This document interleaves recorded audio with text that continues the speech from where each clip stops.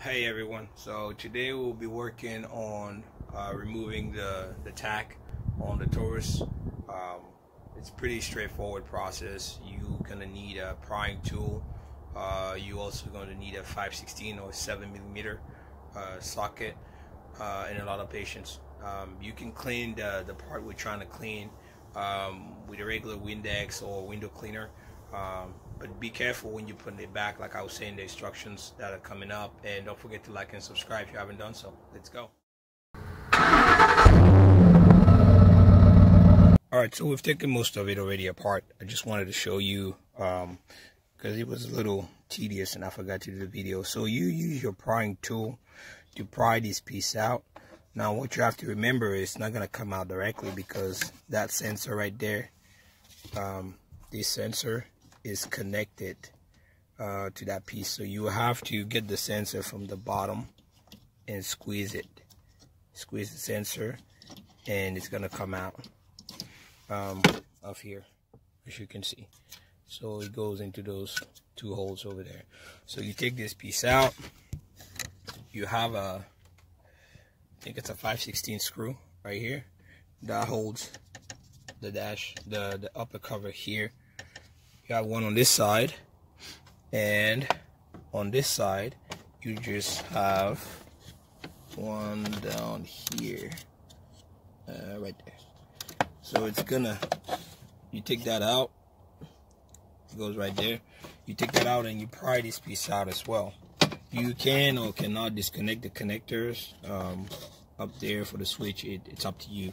Um, but when those are out I'll, I'll put my So I had to do a little diversion here to kind of show you exactly what I meant. So this is the the type of look that you have on uh, 2013 and up.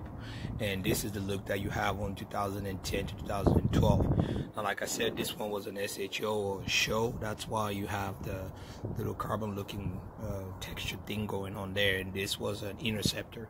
So pretty much like I said when you're using your prying tool to get it out you have two tabs here that are pretty, you know, they're sticking there pretty tight.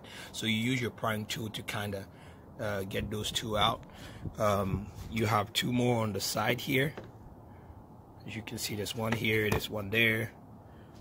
And you have two more on this side uh, for a total of six. Now, don't forget to take that screw out like I mentioned as well and you should be able to take it out. As you can see this is just a plastic cover that lays uh, on top of the steering wheel column and it's not attached or anything like that. Now if you have a 2013 and up it's pretty much the same thing but you still have your screw here which sits in a deeper hole. Uh, it's still the same 7 millimeter screw sits, sits in a deeper hole. On the plastic, which we have plastic is kind of like a full leather or fake leather uh, type of thing here.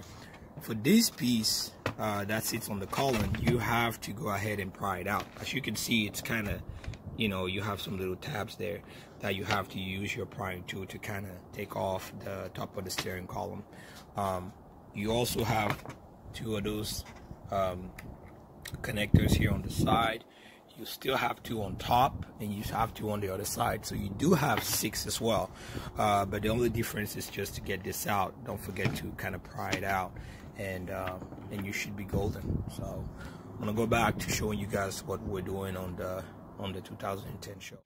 Push it down and then push it out push it down and then push it out. Basically when you do that as you can see it's poking out. And uh, when you do that you can you got to be very careful. Otherwise you're going to break the tab. Like you see I broke one here um, and I broke one here. And I'm going to show you again because they're pretty sensitive. Now either way it doesn't matter to me but it's a press and pull. The reason why it doesn't matter is because I have another cover right here that I'm going to use that has all the tabs so it's it doesn't bother me really um, that those are broken. So pretty much that's what you do. When you take that off, go ahead and make sure you clean the, the inside of the plastic um, like you want it to be. Um, let it dry or whatnot, and then you put it back on there. It doesn't really matter if the battery is disconnected or not. Some people recommend taking the battery off, but it doesn't really matter. That is the little module I was talking about for the 2010. The connector goes right there. Uh, for the newer models, you have one that's that's sitting on it, but instead of being right there, the module is attached to the side of the tach So be careful with that. Um, but that's pretty much. when you're putting it back, make sure you sit it back on top of this little pins there because that's what the hole is for, of course. Now make sure you sit it on there and when you have it in that position, it should stick, but you know for a fact that you have it in the right position because you can now go ahead and put on your screws. Um, when you put in back the tach, I'll put it as an angle coming this way first. So I'll, I'll connect it, but then I'll go that way and then go back uh, because you have this piece that pokes out a little bit and it's going to give you a little headache if you're trying to scratch that off. Um, but that's pretty much it. Put your bolts back and you do the same process in reverse and you should be good to go.